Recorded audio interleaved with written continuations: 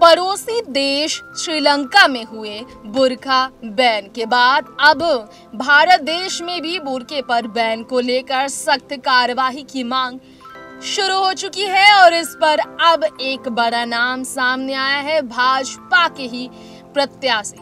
Bhajpa party के नेता बनने जा रहे हैं, भाजपा पार्टी के उम्मीदवार। आजमगढ़ से सीएम। जी हाँ उत्तर प्रदेश के पूर्व सीएम अखिलेश यादव के खिलाफ लड़ाई लड़ रहे लोकसभा चुनाव में उतरे भोजपुरी सितारों की दुनिया के सुपरस्टार गायक दिनेश लाल यादव उर्फ़ निरहुआ। जी हाँ इस पर अपनी राय रखते हुए निरहुआ ने किया है सपोर्ट।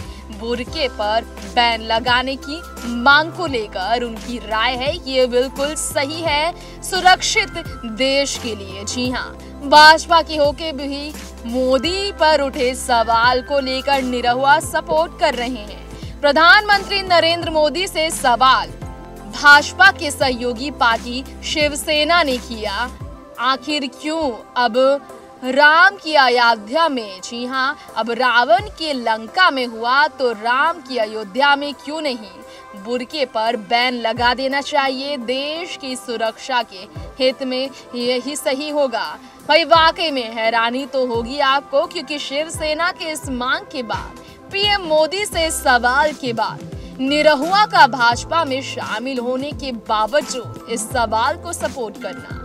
निरहुआ ने बुरका बैन पर देश की सुरक्षा के हित पर बात करते हुए सपोर्ट कर ये भी कह दिया कि वो आखिर क्यों इस सपोर्ट में है शिवसेना के इसका खुलासा सोशल नेटवर्किंग साइट ट्विटर पर निरहुआ ने किया ये कहते हुए I support Shivsena, call for burqa ban demand. Even I suggest to ban loudspeaker madrasa mazhab in interest of international securities.